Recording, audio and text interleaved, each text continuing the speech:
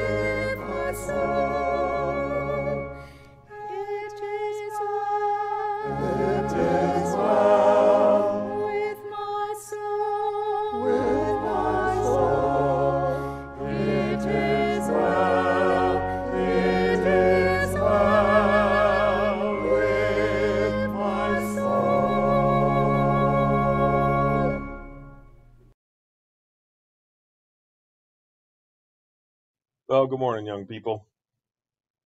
Have you ever played hide and seek?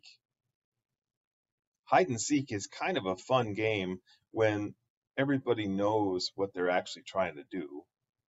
You know, hide and seek, where someone is it and then everybody else spreads out and tries to find a good hiding place. And then whoever is it comes and looks for you, and tries to make sure that you get found. Now, sometimes people hide better than others. Sometimes people do a really good job. Most of the time, we get found. And that's actually part of what makes it fun. To know that somebody is looking for us. And no matter how hard we try to hide, we still can be found. Can you imagine hide and seek if the person who was it stopped playing? If the person who was supposed to look for you just did not? Then it would be hide and be lonely. Then it would be hide and be lost. And nobody wants to play that game. Sometimes find better ways to hide and not tell everything about our lives, or there are things we don't want everybody to know. And sometimes we do a pretty good job. Sometimes not so much. Sometimes everybody knows we're trying to hide, but they can still see us. Now, this morning, we're going to talk about Zacchaeus, the story of Zacchaeus in the Bible. Zacchaeus was a man who had some stuff that he probably should have wanted to hide from others. People didn't like him very much. He had a job that was hard. He wasn't quite sure where he was in terms of going to temple and being in his faith community. But Zacchaeus heard that Jesus was in town and there was a big parade and a whole group of people. And Zacchaeus made a decision that he was not going to play hide and seek anymore with God. Zacchaeus was making sure that he could see Jesus. And so this professional older man climbed a tree. It actually says in the Bible that he climbed a tree so that he could see Jesus and so that Jesus could see him. He wasn't playing hide and seek anymore. He was playing Here I Am. Might I be found? And Jesus saw him. He called him by name. He said, I see you. I found you. I'm it, and I know where you are. Come on down from the tree, Zacchaeus. Today I will be in your house. And that day was the beginning of a new life for Zacchaeus. He knew that God was it, and through Jesus was trying to find him. And he did find him, and his life changed, and it was good. I hope you know this morning that no matter what ways you try to hide, you will always be found. God is it. You are loved. And the Holy One is looking for you. It's better that way. And thanks be to God.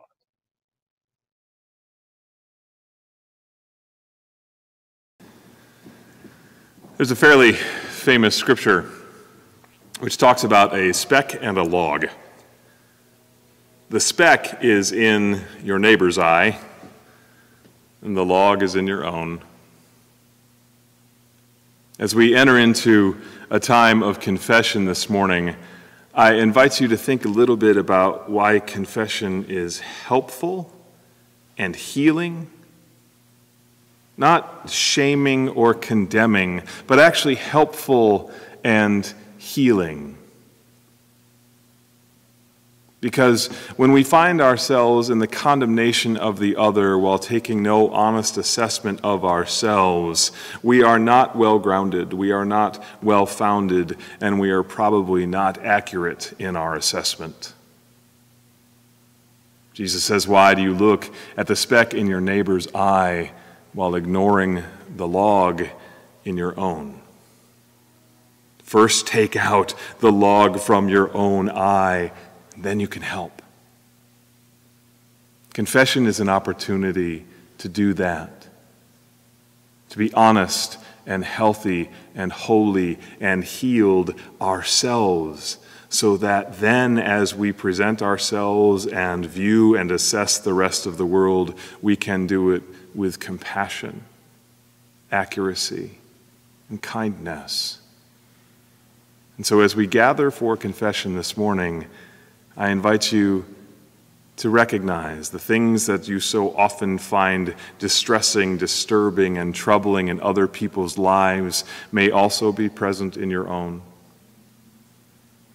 Clear up the things that are present in your own so that you can heal and love your neighbor. And to give you a little visual for this, have you ever been to the eye doctor? I have. And here's what I know there's a moment where you have to tilt your head up and back. You have to open your eyes and allow the doctor to put drops in your eyeballs. It's pretty uncomfortable. And after that is done, the assessment has been made, a prescription can be given and you see better. And so this morning in confession, I invite us all to look up, to open up, and to trust that the great physician of our brokenness calls us to clear sightedness. Each of us has fallen short of the glory of God. Each of us has the possibility of new and clear vision. Each of us is loved enough for that work to be done, and each of us is a forgiven soul of Christ Jesus who can see clearly in the world that which must be healed and the way to help do so. Friends, know this day you are forgiven.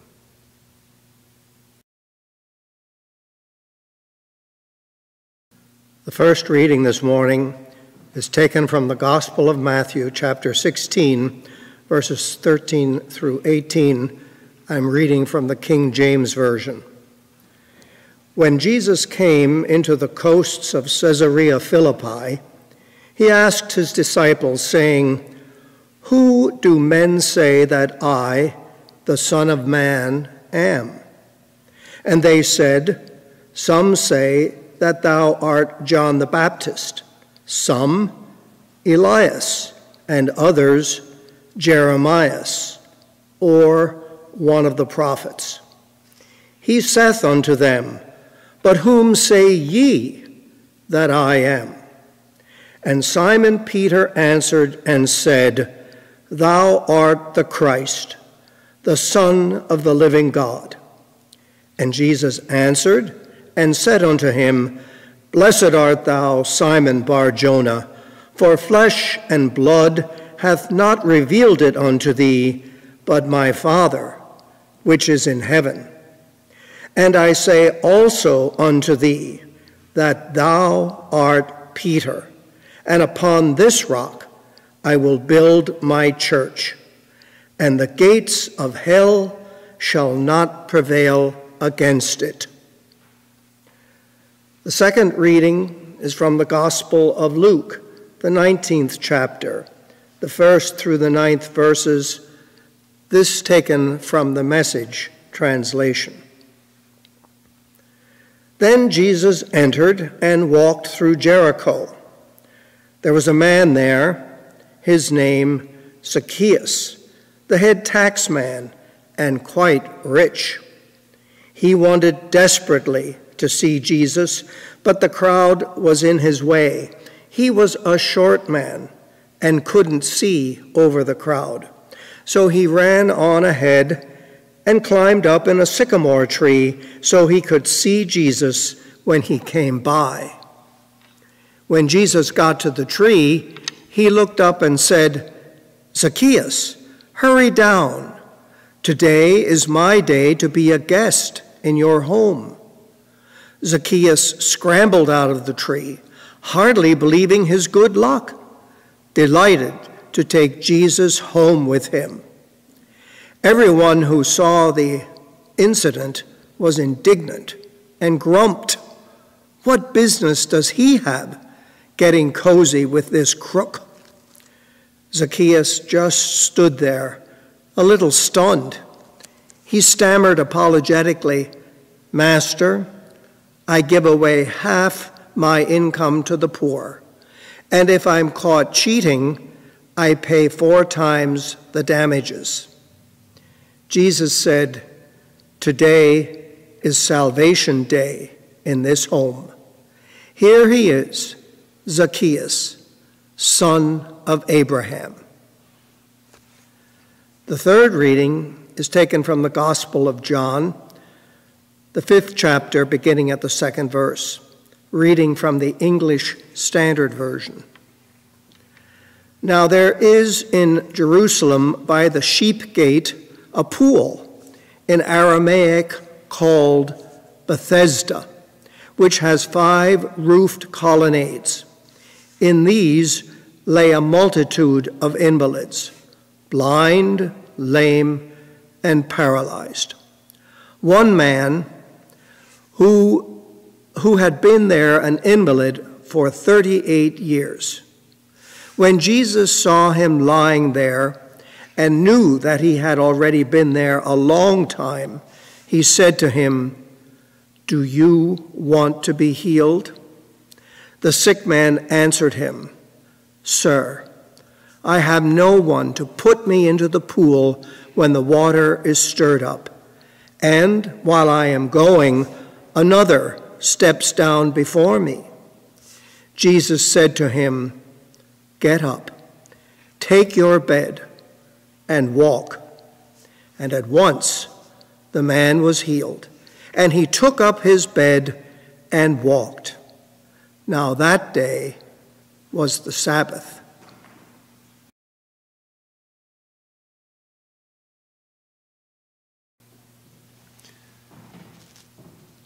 So this morning, we will talk about what it means to have a faith that is personal. A faith that really is about you, really is about me. Not just an idea or a theory or a concept, but the real deal, really, in a real life.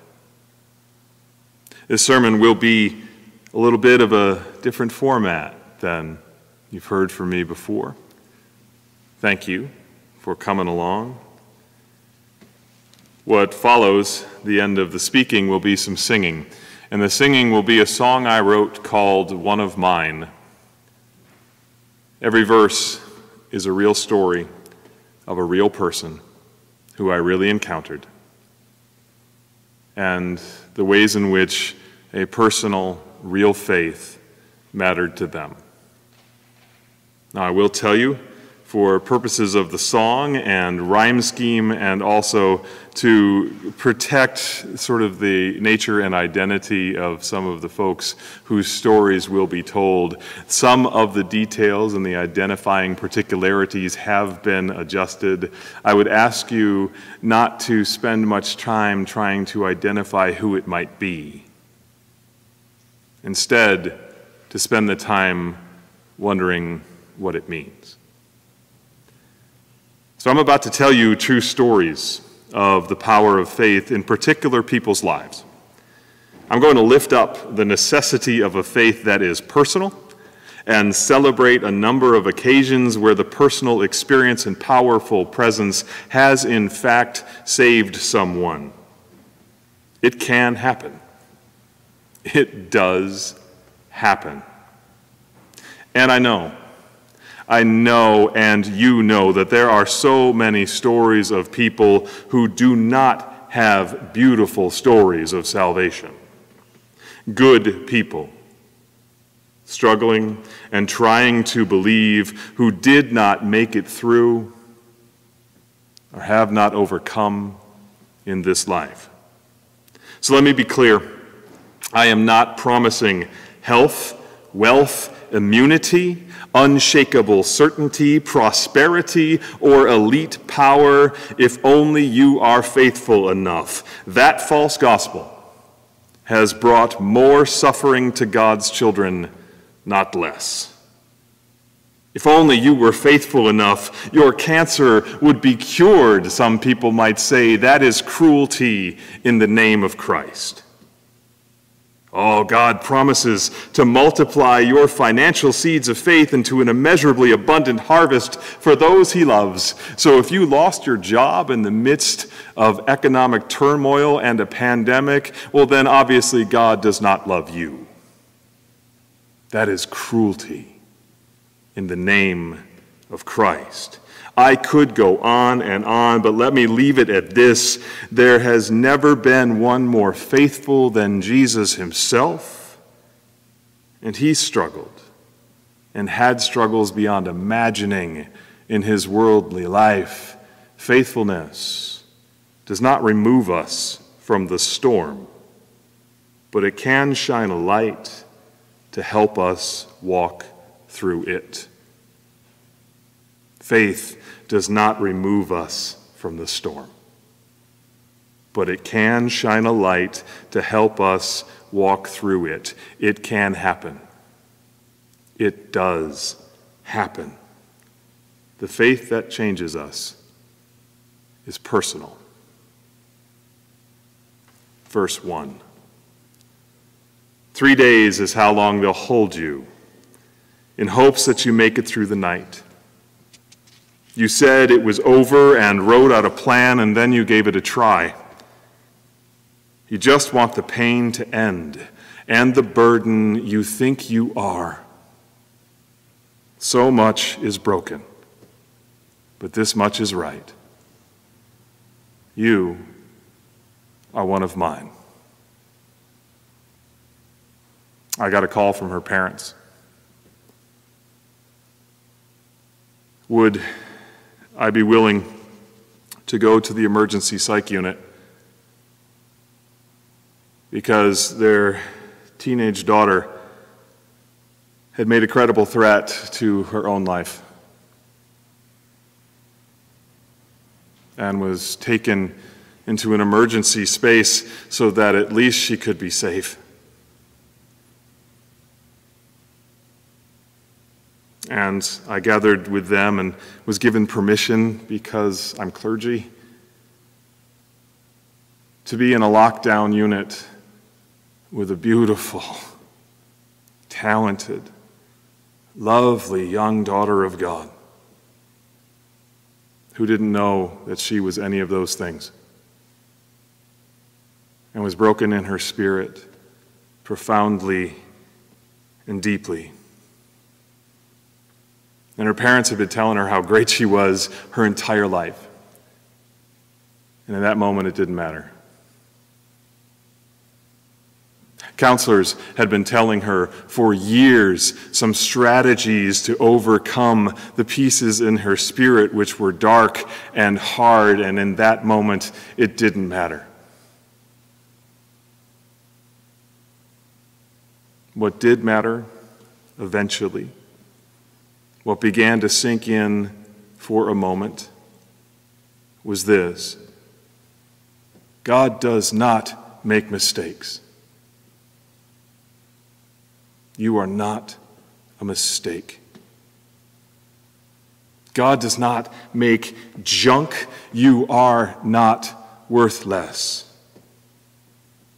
You are a child of God, not just the child of well meaning parents who have loved you well but imperfectly because they are just people.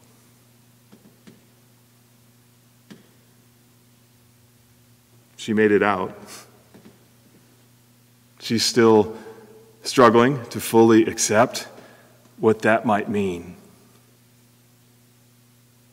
The part of what lifted her from the very edge of the abyss was a personal faith that she was made and loved and wanted by God. The conceptual, the theoretical, the theological, and the doctrinal did not pull her back from the edge. God did. It was personal. Verse 2. In the needle is the only peace you can find as you run away from the war. The battle remains, but the uniform is gone, brother in arms no more.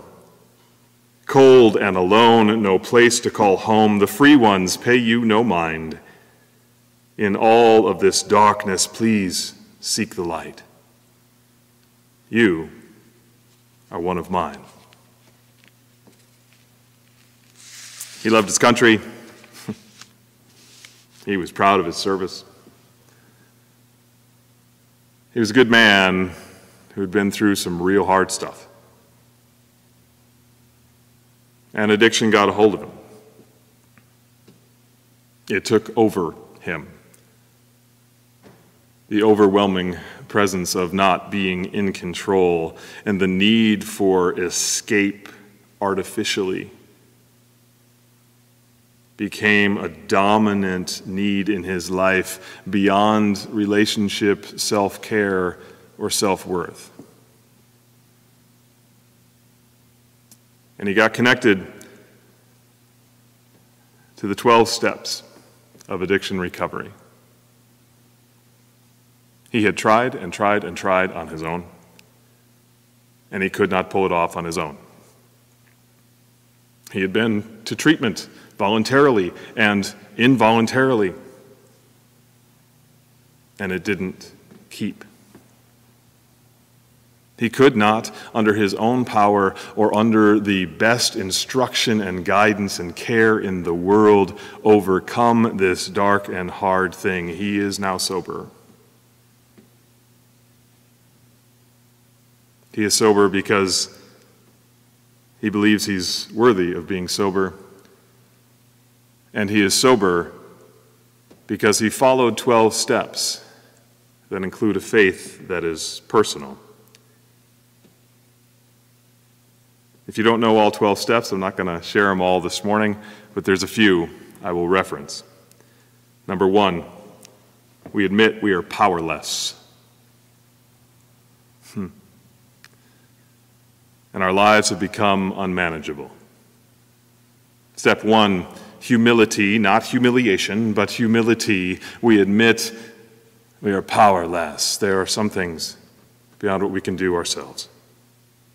Step two, we've come to believe that a power greater than ourselves can restore us to sanity. Come to believe that a power greater than us can restore us. Whew. That's about as personal as it gets, my friends. Not, we've come to believe that the idea of being a lovely person under the auspice of a benevolent, benevolent divine is a worthy thing to pursue. No. We've come to believe that power greater than ourselves. I have come to believe, he said, greater than myself is a power that can restore me.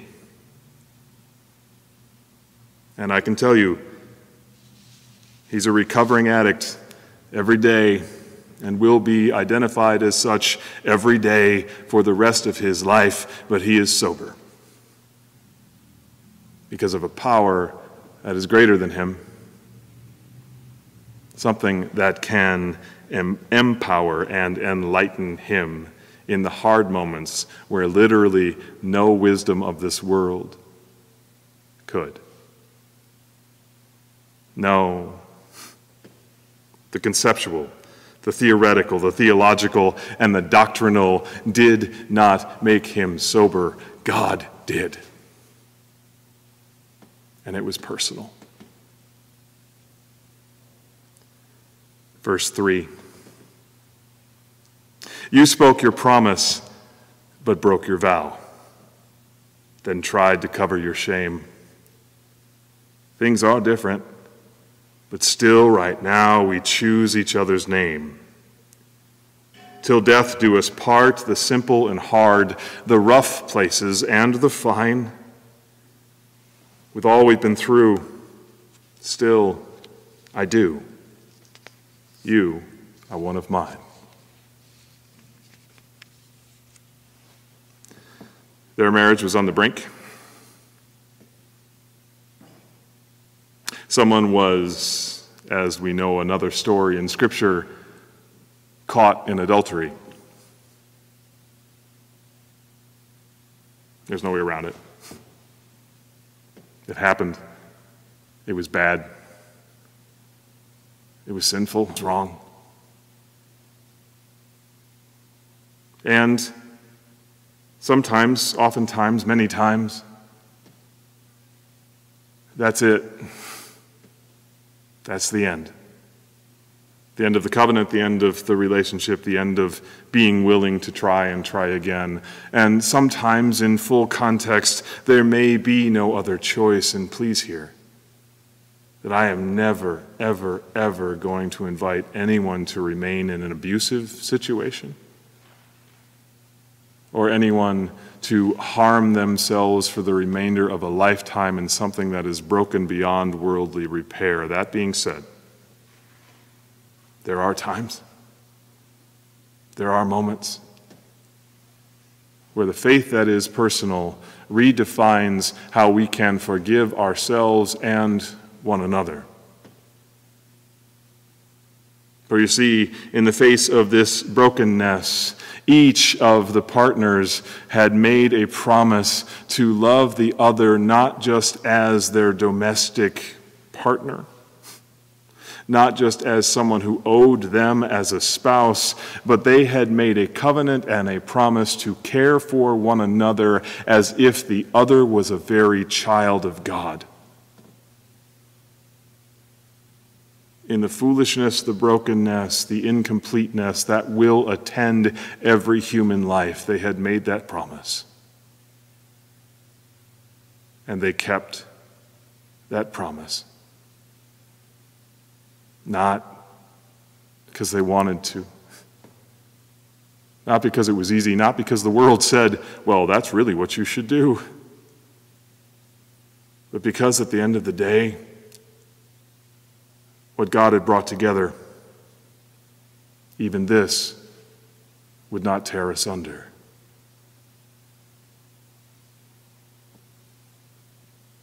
The conceptual, the theological, the theoretical, and the doctrinal did not do this. God did. It was personal. Verse 4. You told the same story five minutes ago. I know you don't remember. Each day, further away until you find forever. I'll remember your name and your dignity when you search but cannot find. I'll sit with you in the truth of this place you are one of mine. This extraordinary man, father of many, successful in the world, really smart, really capable, really in charge almost all the time, got sick, got really sick. Began to lose his capacity and control of the world. Couldn't remember all the things that he wanted everybody else to remember. Dementia began to take hold of this extraordinary mind, this wonderful man. And it was hard. It was so hard for those who loved him and knew him. Because what do you do when the person who's in control no longer has the power to make sense? And the journey took a little while, and there was a lot of tear and a lot of frustration and a lot of sorrow. And there were some moments for him where he was aware of what he was unaware of, and it caused some real anger, some real loss, some real fear. And then I was invited to gather with the family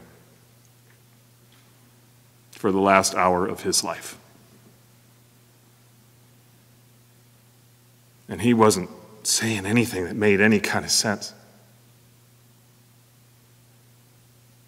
Till we prayed. And we could see his lips moving at the end of the Lord's Prayer. Somewhere beyond all of the loss and the chaos and the shrinking brain there was a faith that was personal and embedded in his soul that could speak even in that his final hour. And as I held his hand, and we sang Amazing Grace, he died. He died in peace. He died okay. He died happy. The conceptual, the theoretical, the theological, the doctrinal did not do this. God did. It was personal. In verse 5. Rarely understood often betrayed, a king with a crown of thorns, born of Mary, amazing grace, whose love was met with scorn. After the cross came the garden, a Savior, oh, so kind. Go tell the others what you have seen. You are one of mine. When we talk about the incarnation, when we talk about Jesus the Christ, when we talk about the sacrifice of the cross and the miracle of the stone rolled away, we are talking about a God who so loves you that it was worth it. We're not talking about an idea. We're not talking about a concept. We're not talking about a chosen theory of how to live a worldly life. We are talking about a God who so loves you that this was worth it. God so loves the world and everyone in it that the child on the brink of despair can find life again. God so loves the world and everyone in it that the man overwhelmed by the evil presence of addiction has found a power beyond himself to know new life. God so loves the world and everyone in it that those who have gone down the roads that they wish they didn't go down have a chance at renewal and sometimes a chance to save a relationship. God so loves the world that even those who are being lost to the world can hear the mysterious grace of the holy in the darkest moments and the beautiful transition from this life into the next. God so loves the world and everyone in it. And hear me this morning, that means you.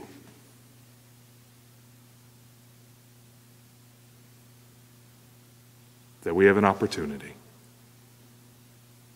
to hold that truth in our spirits, to walk with our Christ in our lives, and know that at the end of the day, it is personal.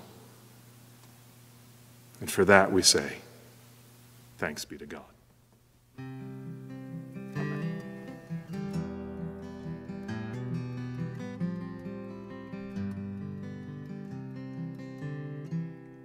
Three days is how long they'll hold you. In hopes that you make it through the night.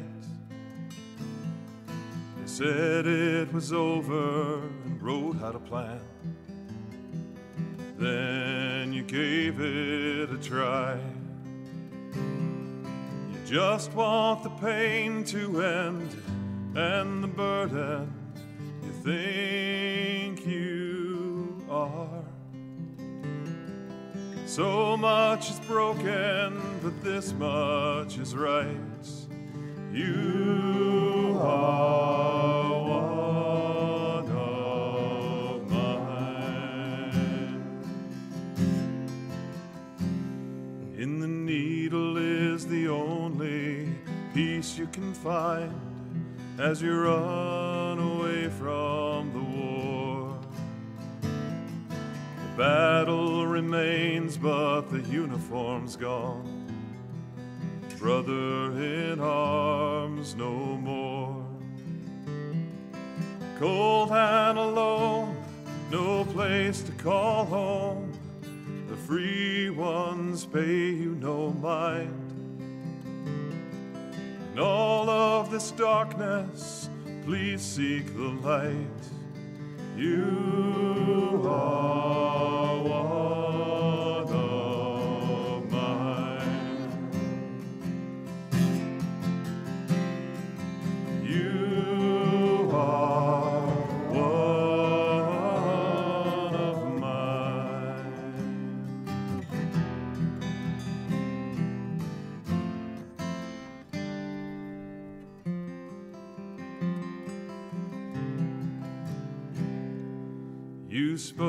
promise, but broke your vow.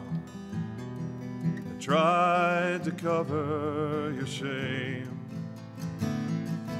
Things are different, but still, right now, we choose each other's name. Till death do us part, the simple and heart, rough places and the fine. And all we've been through, still I do. You are one of mine. You told the same story five minutes ago. I know you don't remember each day further away until you find forever. I'll remember your name and your dignity when you search but cannot find. I'll sit with you in the truth of this place, cause you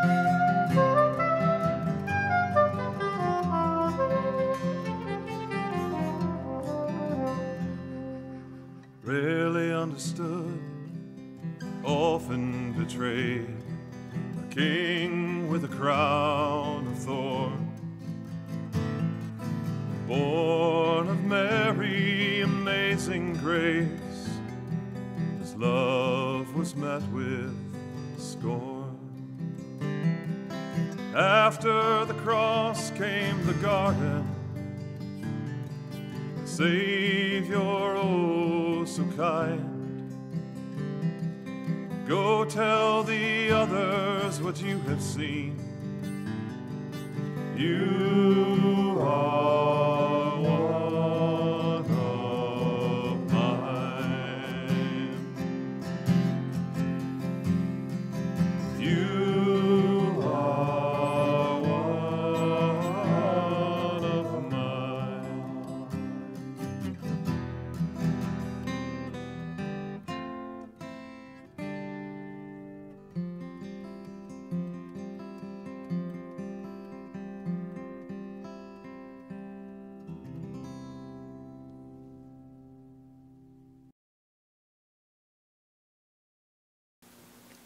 I trust in God, the Holy Spirit, everywhere the giver and renewer of life. The Spirit justifies me by grace through faith, sets me free to accept myself and to love God and neighbor, and binds me together with all believers in the one body of Christ, the church. The same Spirit who inspired the prophets and apostles rules my faith and life in Christ through Scripture, engages me through the word proclaimed, claims me in the waters of baptism, feeds me with the bread of life and the cup of salvation, and calls me to all ministries of the church. In a broken and fearful world, the Spirit gives me courage to pray without ceasing, to witness among the peoples to Christ as Lord and Savior, to unmask idolatries in church and culture, to hear the voices of people long silenced, and to work with others for justice, freedom, and peace. In gratitude to God, empowered by the spirits, I strive to serve Christ in my daily tasks to live a holy and joyful life, even as I watch for God's new earth and heaven, praying, Come, Lord Jesus.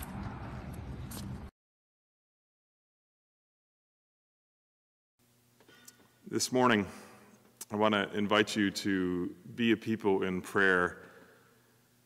And I want to invite you to do that in a way that may, in fact, be unfamiliar or uncomfortable.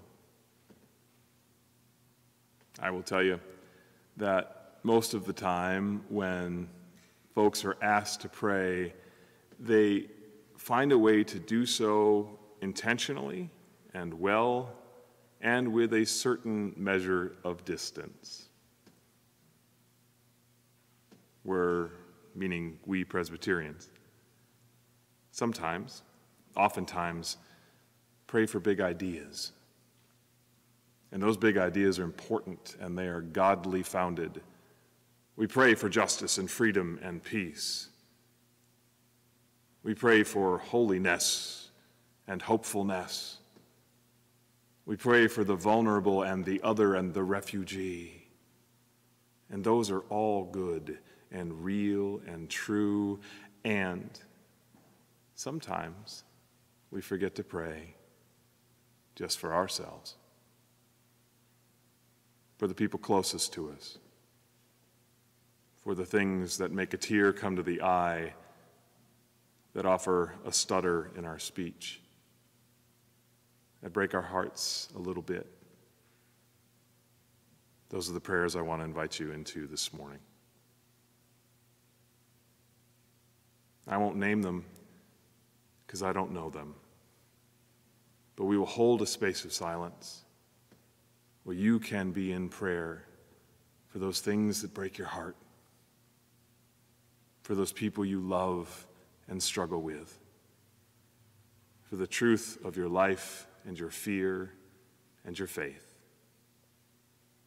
Please know those prayers are honest, they count, and in those broken spaces, the light of hope might shine. And so this morning, let us pray.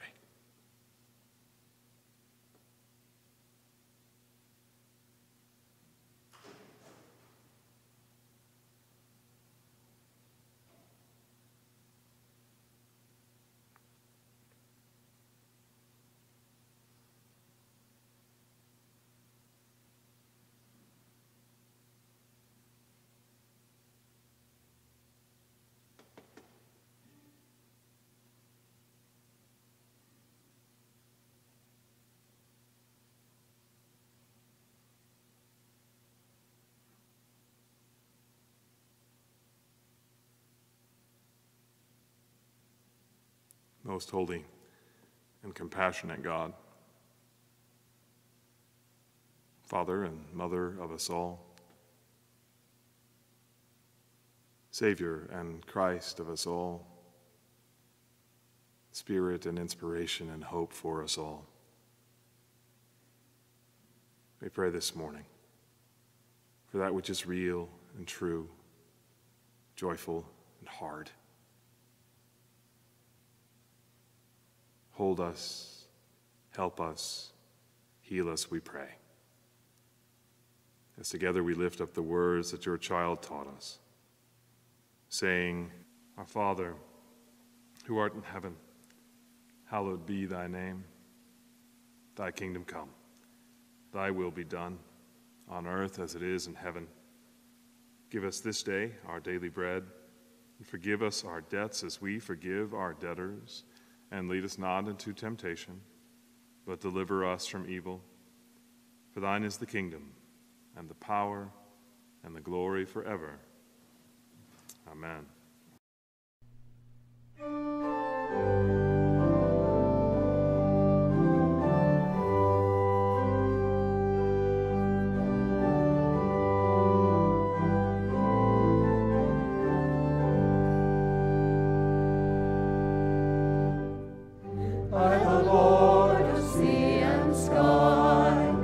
I have